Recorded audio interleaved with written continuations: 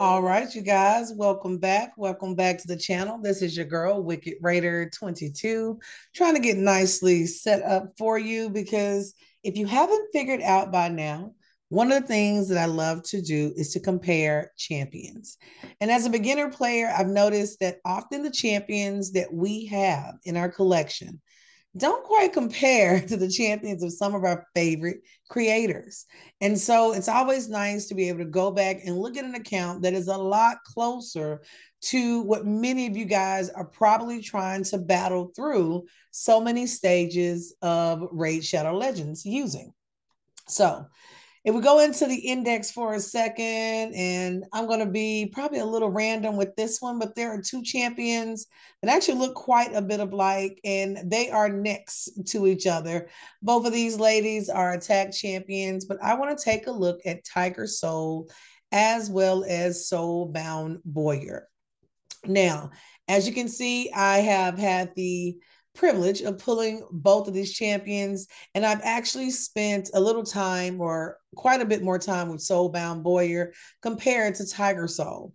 And there are some similarities. Now, you're going to hear from so many that if you pull Soulbound Bowyer, this is one to keep. This is one of those rares that can certainly come in handy, especially when you are going through Doom Tower, for example. Guys, don't forget you have those rooms that are very specific as to the type of rare you're able to use.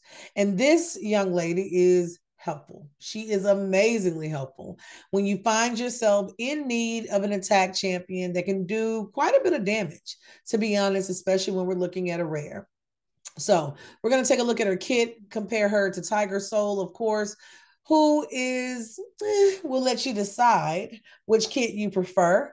Um, I always want to hear, see, and experience those um, comments and opinions in the comment section. But let's go to reviews first, because you guys know I love a good review. Now, there are some areas where Soulbound Bowyer, of course, is going to excel. Demon Lord and Fire Knight's Castle are not top on the list. Arena Defense is another area, along with Magic Keep and the Iron Twin Fortress. I'm going to be honest with you. If you are a beginning player, if you've just opened Iron Twins Fortress, probably 80% of the champions you currently have at level 42 are not going to be highly rated for Iron Twins Fortress. Um, even your best built team is probably going to struggle in that particular area of the game. I made a video on that one, but hey, a video for another reason so you know how this will go. So, let's look and see what skills Soulbound Bowyer actually brings to the table. So for this first AoE, we're going to take a look at attacks all enemies. That first sentence gets me excited. Has an additional 25% chance of inflicting a critical hit. Doesn't take too many books. Um, I am glad about that one. You do have the ability to increase damage by 25%. And because she is an attack champion, paying attention to just that base level, looking at 1255 is not bad. Speed is at 96, so she's definitely not the slowest champion that you will likely pull in your career of Raid Shadow Legends. But going over Infuse arrow level one attacks one enemy, has an additional 25% chance of inflicting a critical hit. And that's not too bad. Will ignore 75% of the target's defense. It's this sentence, especially if you are late early game, that can make a difference depending on where you are in the game, like what area you are focusing in. I have very much so focused using Soulbound Bowyer in my dungeons. Um, there are some areas of campaign I've also pulled her for. Um, and I've noticed as I've been running this champion to build up her level, I've been pretty impressed with the amount of damage that she's able to put out. And I'll also run both her and Tiger Soul on a team together so we can kind of get an idea of what they can do. Once again, goes up to level five. You have the ability to increase damage by 25%. And this is this skill is on a three turn cooldown. Last but not least, this is where it gets sticky. Whenever I see level nine, uh, and that cooldown is always last. It's always last. Oh, Plarium, you guys got us here. Soulbound shot level one attacks one enemy, has an additional 25% chance of inflicting a critical hit. Also has a 75% chance of fully depleting the target's turn meter. This, this, it's always those end sentences. When you are building teams, guys, one thing I am learning the hard way, I have to go back and revisit their skills. I need to look at the kit to see what each team member is actually bringing to the table. It's made a huge difference on who I'm selecting based on the area of the game that I'm currently in. Soulbound shot level one is actually placed on a, four, a four turn cooldown if you can make it all the way to level nine. Um, you will also notice that there is a damage percentage increase of 15%, which is nice. And there is a buff, debuff chance that can also be increased by 25%.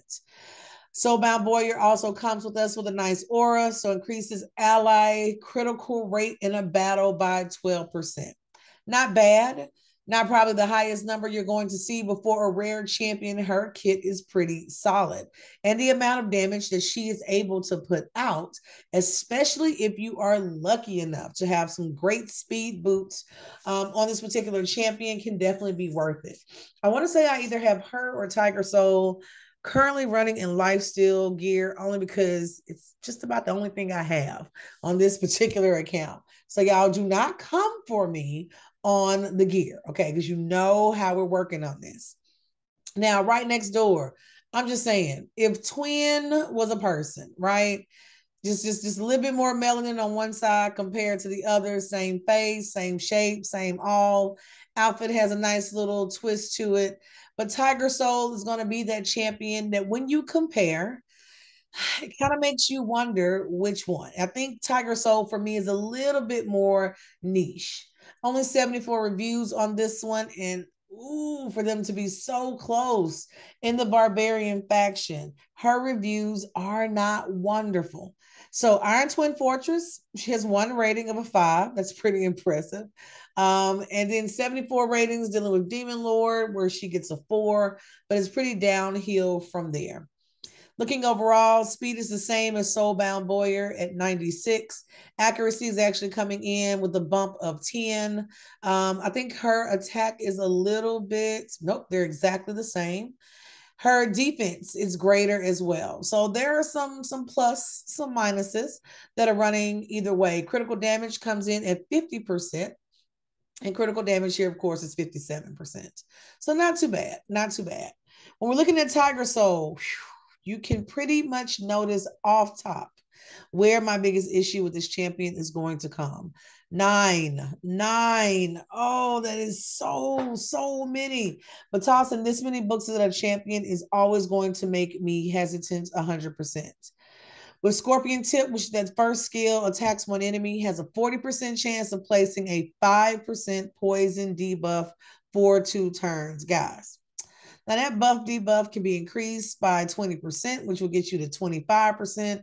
But honestly, if I've got to go to level nine, we should be hitting 30, 40, 50% at this point. That's a lot. That's that's quite a bit. Um, damage can also be increased by 20% as well. Now, going into that second skill, wearying tactics mm, attacks one enemy, has a 75% chance of placing a 15% weaken debuff for two turns. And let me tell you something else about her kit that always makes me hesitant. There is no, no cooldown here, and this skill is on a four turn. Like that's that's a big one. You are waiting. And this is one of those champions. Her defense you can build pretty well. But there are some situations where it becomes really hard to wait that additional turn for a skill to be added in. Now, if you are early game, if you are level 30, 40, even maybe 50, and you don't have very many champions with weaken, this can be pretty important depending on what boss you're running into, just basing it on who you have in your setup. So, is she going to be the best champion with weaken? Absolutely not. Um, but this is one of those champions. She's normally on one of my campaign teams just because I'm leveling her up as I go, not necessarily using my best gear on her, but just making sure she's available. And if I need to eat her, I mean, I wouldn't complain about probably eating a girl. Last but not least, Tiger Strength places a block debuff buff and a 60% increased defense buff on this champion for two turns. This one could have made things a little bit different. You can place it on a three turn cooldown, but it's one of those selfish skills. And when you run into a champion that has a selfish skill, and there are some that all of their skills pretty much are only serving that particular champion, it kind of changes the way you look at that champion as well. Now, one of the areas that we can run both of these ladies in, let's just do, let's do campaign. Let's keep it nice and simple. Since that's one area, we'll go down to, we'll stay at Brutal. We'll go to an area to see how she does just overall in general. I can't go that far on this account. I'm kind of nervous to go that far. Let's come back to Palace. Uh, the Palace is always a good little area for me to kind of test out some things. Let's see if these two, which I don't think they will be able to run this on their own, but who knows? They may impress us. We can always come back and add in another champion if need be. Um, one of the reasons why I even held on to Tiger Soul, um, because I've had Soulbound Bowyer. I know that she can be really helpful, especially mid game. You guys can see my girl has already gone down. She only has level eight gear on her. Yeah, both of them going to go down. Let's drop her. Eh, let's drop both of them down. Let's drop them down from brutal. Let's go to hard. And we'll try that one one more time. And let's see if it makes a difference. Eh, I may back up a little bit. I want her to be able to run and show us a little something. So let's go to the forest. Durham Forest, maybe a little bit closer to what they were used to. And if they die this time, I'll go in and add another champion just to give them a little bit of support. These are champions that I am running and kind of holding on to. They are not the focus of my resources currently. So let's say, for example, I am doing multi battles. Um, I will add these two champions in as those that will run and be a part of that particular multi battle set. So they're building themselves up, but I'll go back, redo their artifacts. They're still dying on me. Oh, we just have so much death going on. This is what happens when you don't pre-run your battles, people. This is what happens. We're gonna take these ladies all the way down to normal. Let's just go to normal, y'all. Normal. And we'll see how they do.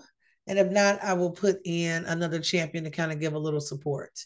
Um, I have managed on my pay to play. I've gotten Soulbound Warrior up to a five star. And so she is kicking out some pretty nice little damage. With Tiger Soul, I pulled her on other accounts. I know one account she's vaulted right now. She's one of those that I would only keep her in a pretty niche situation. And I'm just really now thinking about it that Soulbound Warrior on this particular account is at a level 25. But what I could definitely do is switch out with my pay to play um, just to kind of give you an idea. And what you're looking at, even though they're about to die, my girl is trying, but she's going down. If you compare, this is a comparison, and their gear is pretty much the same. It is very much the same. Um, at this point, I'm only putting in that gear that's you know kind of your leftover. It's probably been pulled from another champion, and it was based on them I could put a little supports, maybe a mother superior in there. Uh, let's throw a little life taker in there, see if it makes a difference. But um, I ran Soulbound Bowyer and Tiger Soul on a team with Eris and Sniper. I've ran them on teams with Sniper and Elhain, just so everyone has a bow. Kind of thing. Um, and it turned out really well. With Soulbound Bowyer at level five, and as you start working through her masteries, especially, you can kind of see how Tiger Soul is really vulnerable just based on the artifacts that are currently on her. But it's one of those champions that if I go into a special area, if I needed her, for example, maybe for Faction Wars, which is another spot that a lot of us struggle with, there are certain affinities that you're going to gravitate toward. And you kind of figure out that all of your champions are in the same area. So if you take a look here, comparing Soulbound Warrior to Tiger Soul, not really close, kind of what I expected. The other thing is just looking at the amount of support needed for Life Taker because Tiger Soul is dying on me pretty early, but I, I need to ascend her and do a little bit more work on her. It can definitely make a difference as well. And I'll run this little group one more time. When you are pulling champions and not sure if you should build them out or not. Instead of keeping them on your active roster, you know, on the left hand side where you can see them and interact with them, I often recommend guys, you just vault them, place them in the vault, walk away for a little bit, really pay attention to your resources, do a little bit of digging to find out to find out when those next events are going to come up. And if there's an event or a tournament that will allow you to build that champion out with less strain, then I would certainly go for it. So um, right now, being that I'm kind of straddling pay to play about level 54, 55-ish, and then I'm looking at Wicked Raider that's that's getting closer and closer to the level 42 that we've been talking about.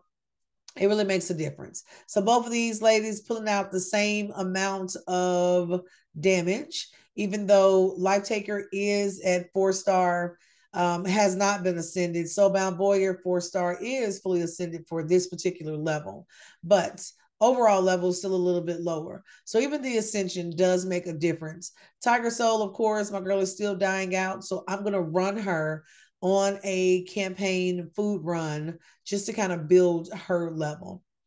You will end up having several champions that will have similar skill sets. And it gets to a point where you will then come in and truly start making those changes. When I look at Soulbound Warrior overall, very basic gear. Um, probably farming gear has been the number one thing I haven't done a lot of. I certainly want to work through some of the dungeons and improve here. And then work on my availability of glyphs is another one when faction wars um you know as they open and close you start to really pay attention to where you have the most champions at and it makes you think even if you go in now for example it makes you start thinking about these are areas where I'm no longer competitive because I have no champions that fall into this category. So I know for me, I get excited when Dark Elf Crypt, for example, opens. Um, sometimes I can do pretty good in Shadowkin, depending on which particular account I'm pulling from. But this is what has really made me slow down and think should I keep this champion or should I not? Should I build this champion out or should I not? It's always one of those questions. So, who or what champions, because some of us or most of us have more than one, what champions have you thought about building out, but you haven't built out so far? Would love to see that one in comments.